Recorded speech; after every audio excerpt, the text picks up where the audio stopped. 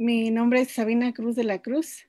vengo o soy originaria de, una comunidad que se llama Tecomate, Chicontepec, Veracruz.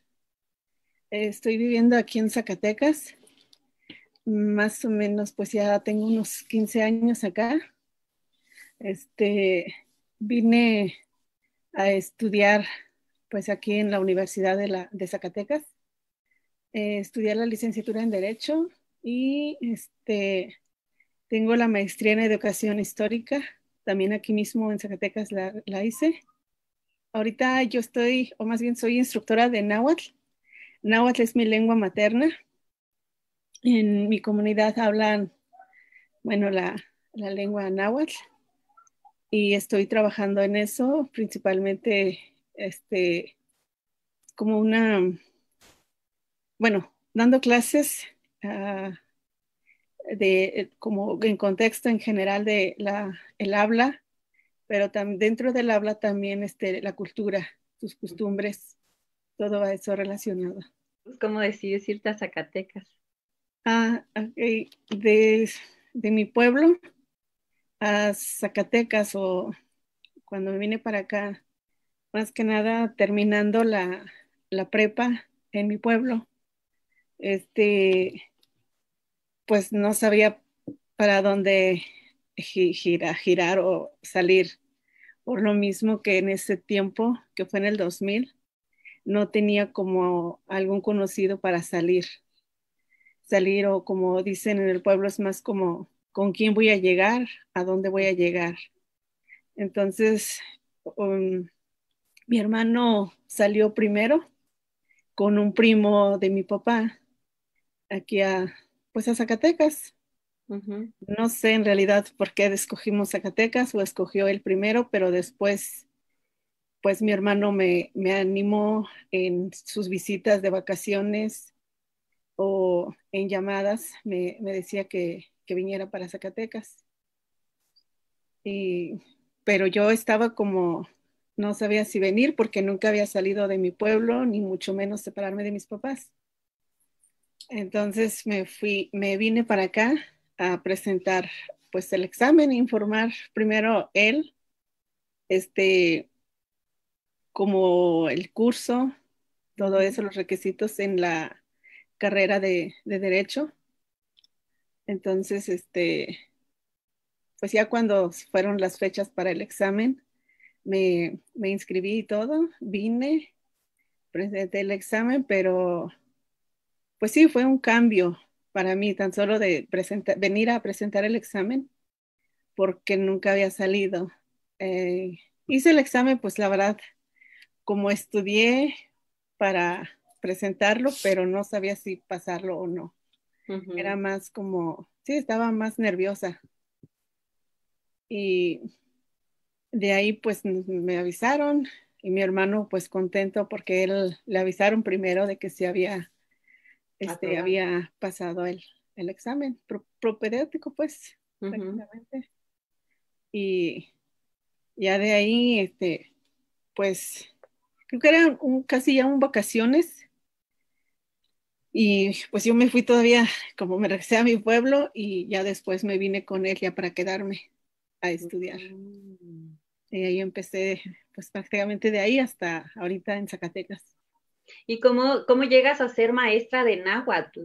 Porque estudiaste derecho, ¿no? Sí. Ajá. Pues durante mi, mi estancia en la universidad, eh, estaba en tercer, como en tercer trimestre. Este, bueno, justamente en ese tiempo venimos o había más como compañeras paisanas y nos fuimos conociendo en la universidad.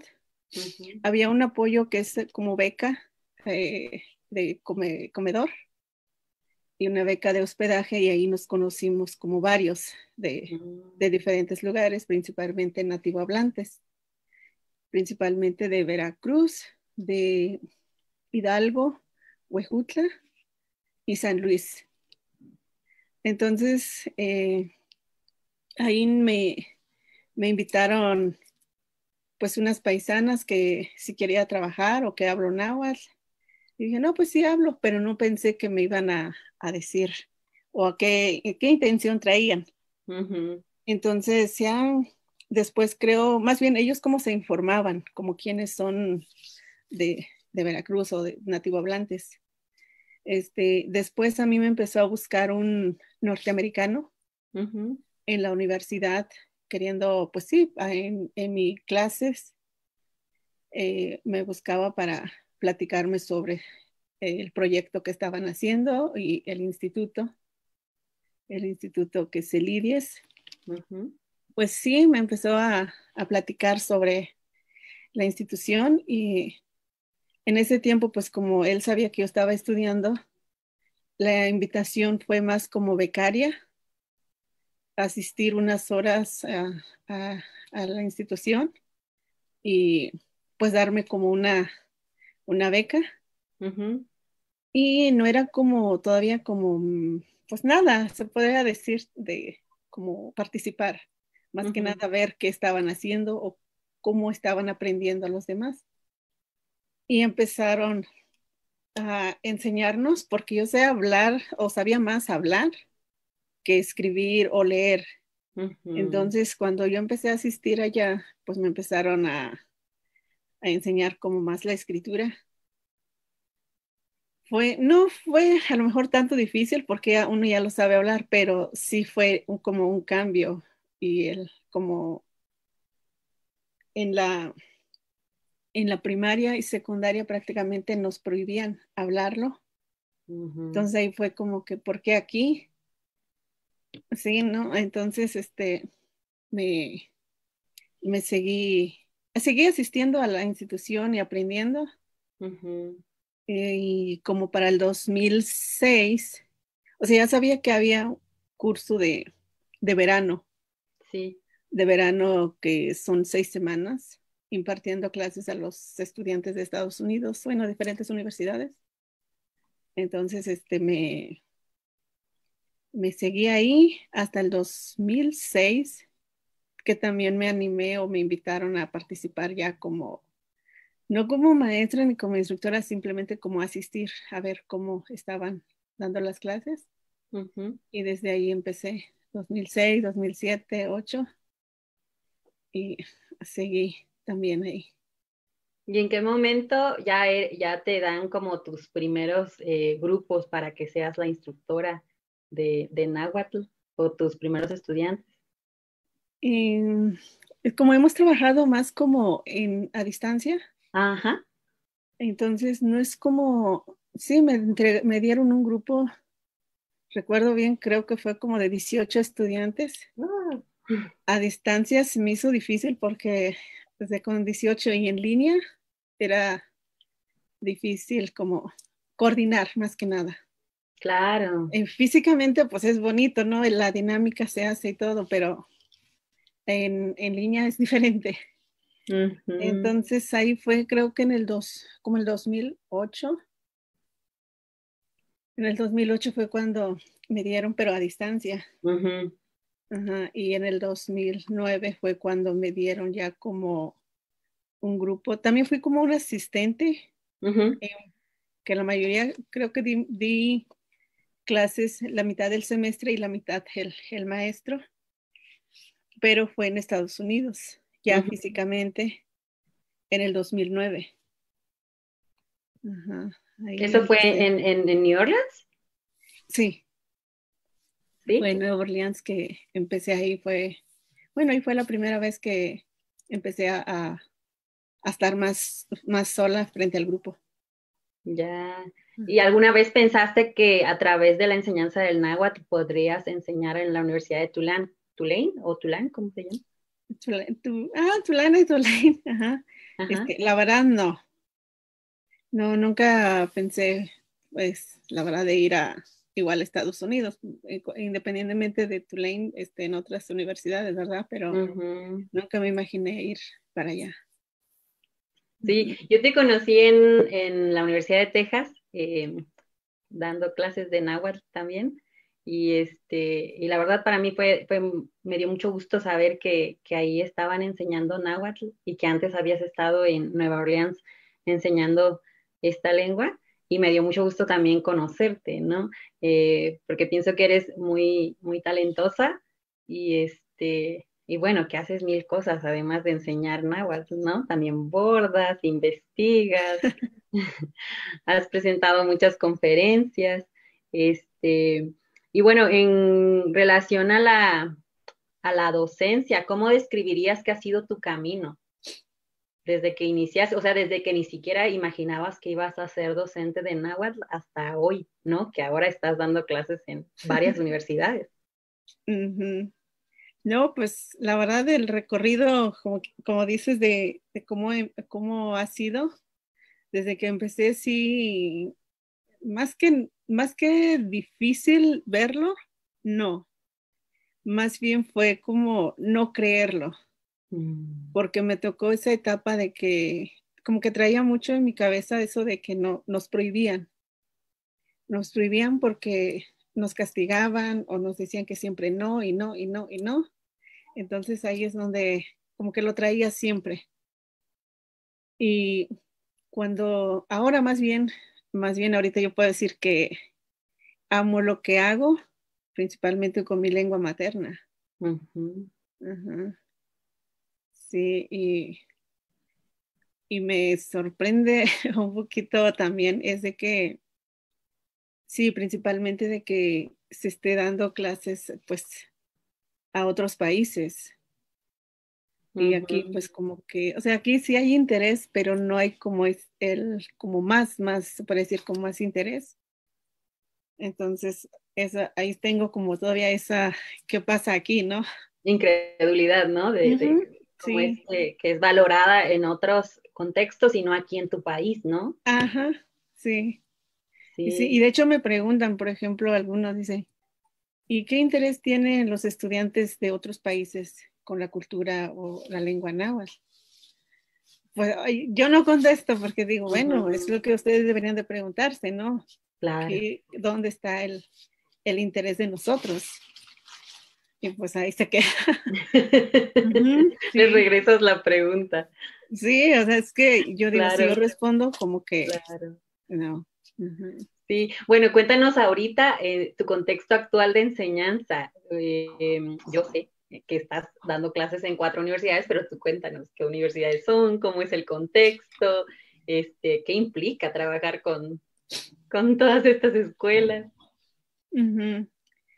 Bueno, más bien aquí es el, la institución donde estoy trabajando, es la que hace esta, se puede decir como el, Vínculo. el contrato o el convenio para tomar clases en, la institución. Entonces, este, a, mí, se parece, nada más me asignan como que, bueno, el náhuatl que imparte, impartimos aquí es, son cuatro niveles.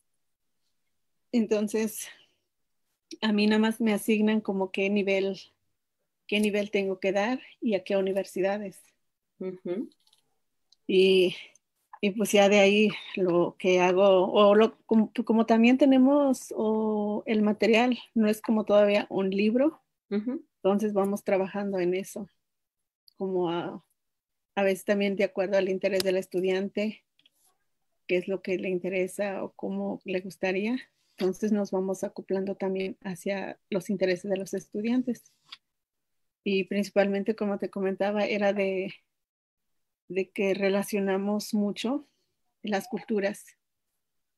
Las culturas eh, como primero, por ejemplo, nivel, se puede decir como nivel uno, se imparte lo básico, la gramática, mm, pequeñas, este, como actividades cotidianas, eh, oraciones, redacciones, algo que, por ejemplo, bueno, todos, como dicen, lo que hacemos cada día, qué comes en el día, qué hiciste en la mañana y todo eso.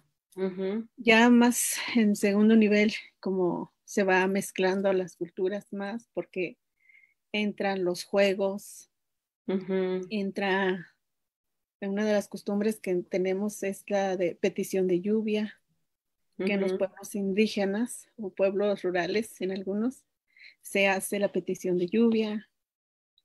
Eh, ¿Qué más? Sí, o sea, que relacionamos mucho en cuanto a, las culturas. Claro, y te iba a, preguntar también, eso que, que, dices de que ahorita no tienen como un libro, pero ya tienen un material, es bien importante lo que estás comentando porque no es lo mismo enseñar una lengua extranjera que ya se ha estudiado, que ya se ha eh, trabajado de muchas formas, que hay muchas editoriales que ofrecen materiales, que encuentras materiales en línea en todos lados, a enseñar una lengua originaria porque el trabajo que están haciendo todos los docentes que enseñan lenguas originarias es em, súper admirable porque precisamente han ido ellos construyendo, ustedes construyendo un, digamos que un, no sé cómo podría decir, una compilación de materiales que ha ido surgiendo de su propia experiencia. Sí, sí, de hecho, cuando, bueno, esa parte creo que se me pasó, pero también es lo que hacíamos en, primero, de primera primera, como no teníamos nada de material, entonces se iba, los que estábamos en el instituto, se iba haciendo el material. Eh, hay, muchos videos, se podría decir, eh, que están donde participamos los que estábamos antes, de acuerdo a las actividades que te comento que se se ve en el pueblo. Al igual, bueno, se quiere o se pretende hacer, es que es, difícil porque por la distancia también. Sí, claro. Hacer videos en el lugar donde se habla el náhuatl. Porque decimos más bien el náhuatl, que es la variante de, del municipio, Chicontepec, Veracruz. Entonces, prácticamente el material sería como completo, te digo, como por la distancia, es hacer videos allá y plasmarlo en el material para tenerlo como más original, las actividades.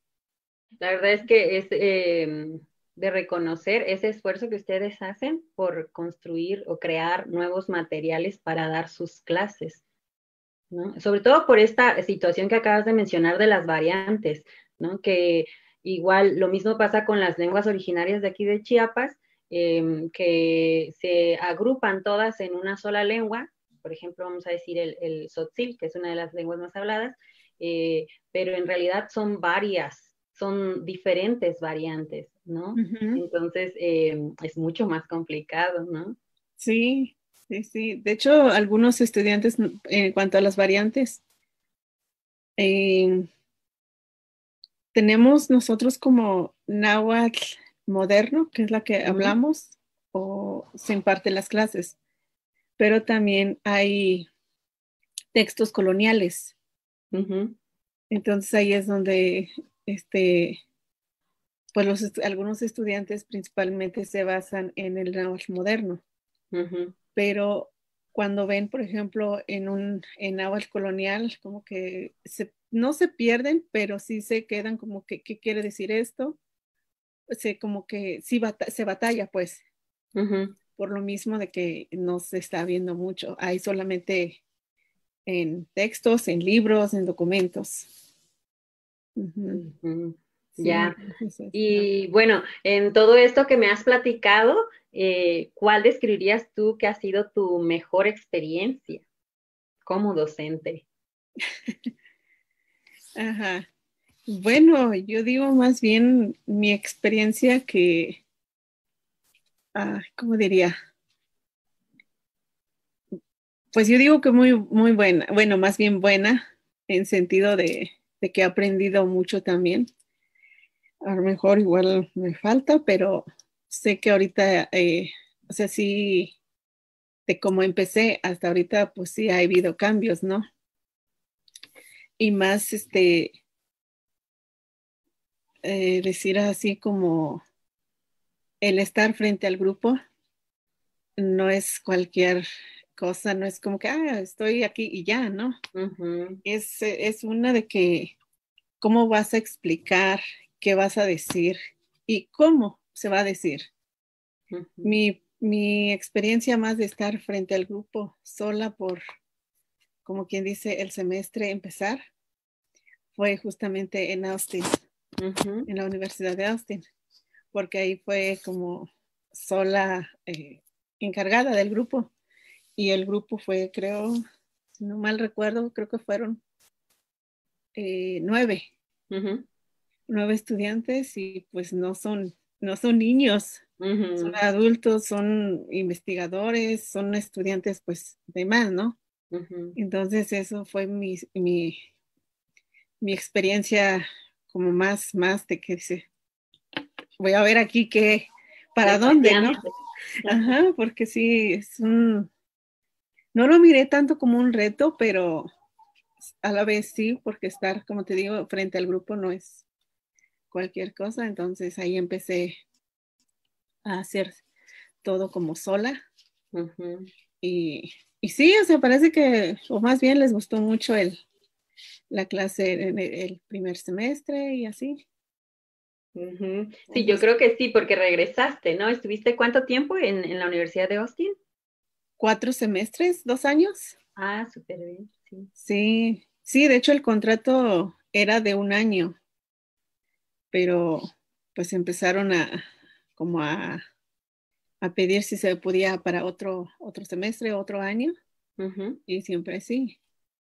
Entonces, sí les gustaron tus Ya dije, bueno, pues, está bien.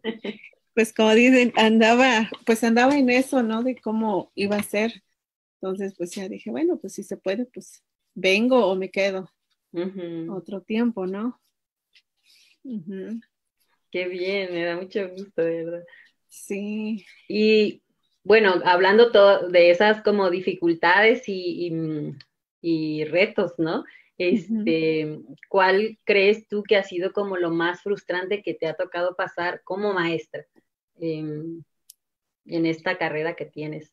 Así, así como de, de docente o instructora en, frente al grupo, creo que más bien al empezar el, semestre un curso presencial, porque es como, lo que tengo, creo es más como me pongo nerviosa, pero más que un, como de que no pueda, no, simplemente es como mis nervios. Pero ya después de ahí ya digo, bueno, a seguirle, ¿no? pero así, así, creo que no. Lo que también es cuando, cuando eh, hago una presentación. Una presentación porque viene como las preguntas. ¿Qué preguntas vendrán, no? Ahí es donde también me hago, o sea, me, me pongo como que, o no sé si decir frustración o me estresa. Yo, yo, misma a lo mejor lo que hago.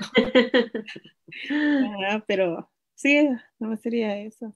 Y ahora que estás dando clases en línea, porque ya em, generalmente estás solo en línea, ¿verdad? sí. Este, y te decía que, que, si nos mencionabas las escuelas, pero creo que es la Universidad de Kansas.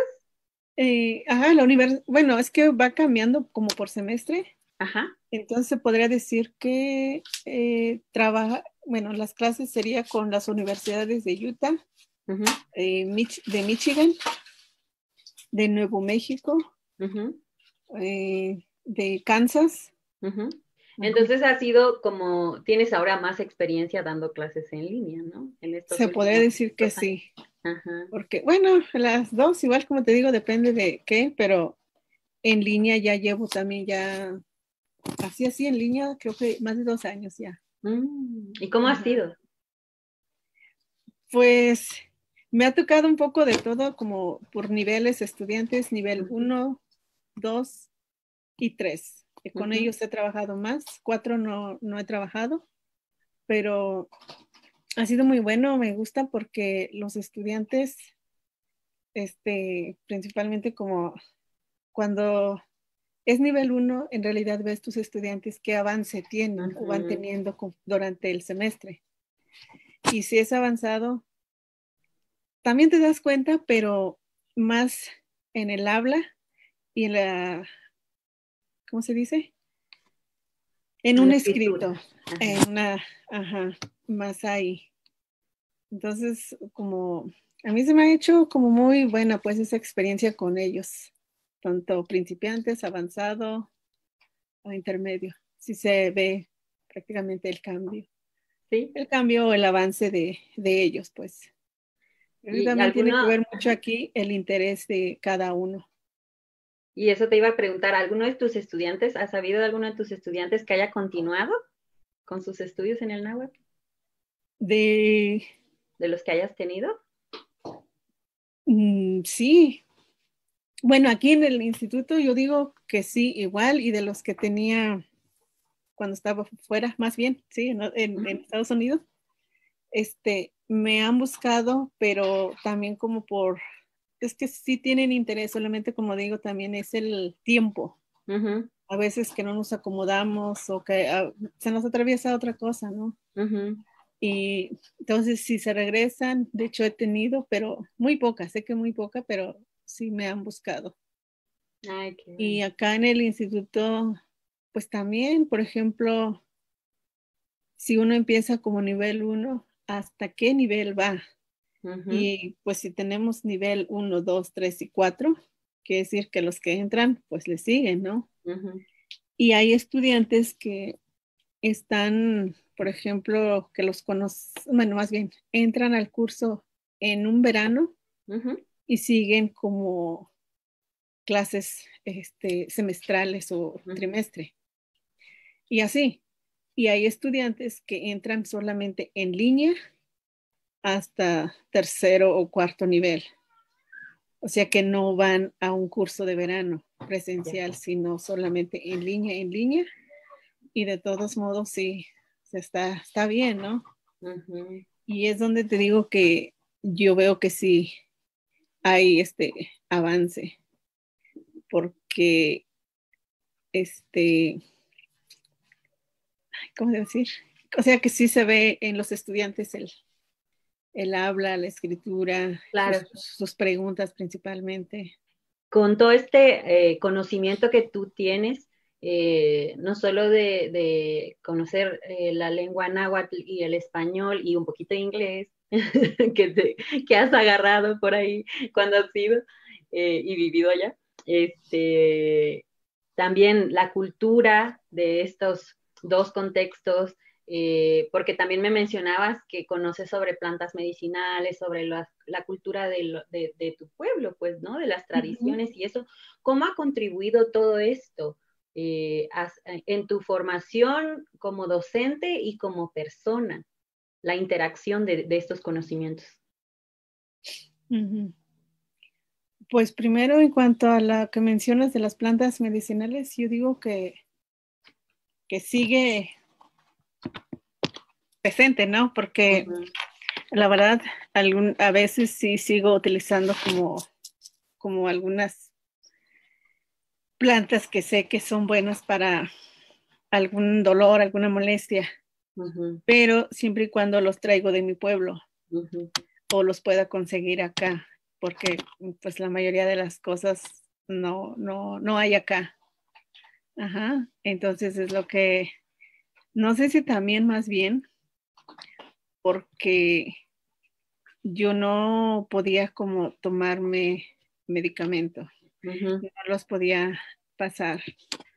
Entonces ahí recuerdo que me decía mucho mi mamá es de que por eso me empezaron a dar más como pues plantas medicinales cuando pues alguna molestia, dolor de estómago, eh, fiebre, eh, no sé, algo así. Este, entonces, cuando ando aquí principalmente como mal, mal de algún dolor, pues regularmente les pregunto qué puedo tomar o cómo sería. Y pues eso. y en cuanto a lo otro, como dices, también en cuanto a la enseñanza, pues igual, pienso que Mm, prácticamente como mm, mis papás o con mis papás tengo esa comunicación todavía en náhuatl. Y con mis hermanos igual tengo todavía, entonces como que ha contribuido mucho en mí, porque no lo, no digo, no voy a decir más bien de que ya no quiero, simplemente es algo que sale simultáneamente porque hablo con ellos hablo náhuatl, no hablo español, y más con mis papás. ¿Y algún, alguien de tu familia es maestro o solo tú? Una de mis hermanas también. ¿Sí? También casi, casi al año entró después de mí. ¿También es maestra de náhuatl o es maestra? Sí, ah, maestra de náhuatl. Ajá. Sí, nomás que ahorita ella está trabajando, no, bueno, más bien no está trabajando porque tiene sus niños chiquitos. Entonces, como quien dice, está descansando en cuanto a esto. Ya. Y este, ¿ha cambiado en algo ahorita que estamos en esta época de, de aislamiento, de cuarentena, tu labor docente? ¿O sigue, sigue siendo la misma? Porque entiendo que si estás trabajando en línea, como que eh, estás como más acostumbrada. Hace rato platicaba con el maestro de Paraguay que nosotros, la mayoría, estamos como aprendiendo a usar todo esto, ¿no? Sí, de hecho, yo digo que sigo, o sea, me, ya me acoplé al estar solamente así, porque antes era hacer como más una jornada de trabajo, ¿no? Tu horario. Pero sí fue un cambio, porque como es estar como prácticamente nomás dando clases, clases, clases y sin salir. Entonces sí fue como un cambio de que, ay, ya terminé y ahora necesito como aire, algo así.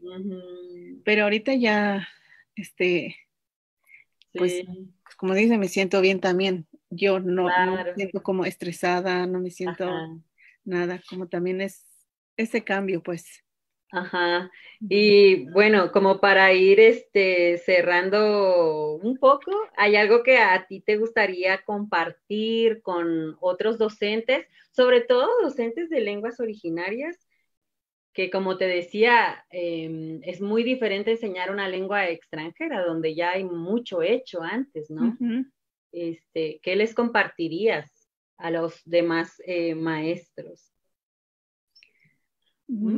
Pues más que nada creo que tenemos que seguir trabajando, seguir trabajando con la enseñanza de, nuestras lenguas originarias. Y como digo, también, la verdad, no nada más es la lengua náhuatl, hay otras lenguas, entonces de docentes para las lenguas originarias prácticamente es, es mucho. Claro. Entonces, más que nada, pues eso, seguir trabajando seguir impulsando principalmente a niños, porque los niños son los que, como quien dice, se van quedando. Sí, los, y los que van a continuar, ¿no? Los que van a continuar, sí, que a veces decimos que ellos ya no quieren aprender. Ajá. Pero por lo mismo que también como les da vergüenza o este los señalan. Sí. Sí, en el caso que me comentabas que a ti te tocó que te prohibieran, ¿no? Que hablaras la lengua en la prepa y en la secundaria. Entiendo también que no recibiste educación en tu lengua materna. No, no, prácticamente era, era eso de que no hables náhuatl, porque si hablas, y entre compañeros era de que voy con la maestra a decirle, voy con el maestro. Y ya venía el castigo, o sí, era un castigo, actividad, o eh, como un, un golpe, un, ¿cómo se dice? Un, sí, como pegarle a, los niños a la, en la cabeza. Claro. Sí, era algo emocional también, ¿no? Sí, también. Sobre todo. Sí. Y ya llega, pues en el pueblo todo, todo mundo hablaba, habla náhuatl entonces, como que, pues, ¿qué hago? ¿Hablo, hablo náhuatl o hablo español? Pero la verdad es que me da mucho gusto que hayas decidido, eh, bueno, que llegó la oportunidad de que pudieras dar clases de náhuatl y que ahora seas eh, una maestra que está compartiendo su cultura, su lengua, eh, no solo en México, sino en otros países. y, y, que la verdad tienes toda mi admiración, yo te admiro mucho. Y Gracias. la verdad es que este, me da gusto y espero que puedas continuar haciendo lo que, lo que estás haciendo en este momento y, este, y que puedas llegar mucho más lejos, ¿no? Gracias, Erey. Y te agradezco muchísimo que, que, nos hayas compartido tu tiempo y no sé si quieres decir algo más para que vayamos, pues para que cerremos la, la conversación. No, pues yo creo más que nada este, darte las gracias, como te comentaba, por la invitación a esta entrevista también. Me da mucho gusto, pues como también nos conocimos fuera de, nuestro país, fíjate. Ajá. Entonces eso, pues me da gusto que a pesar de eso, pues hay, hay que estar en contacto y seguimos trabajando, pues. Gracias, Abby. Te aprecio mucho. Muchas gracias por, por tu tiempo, por, por compartir. Y bueno, pues sí, vamos a seguir en contacto, seguro. Claro, claro que sí. Bueno, muchísimas gracias. Gracias, igualmente. Adiós.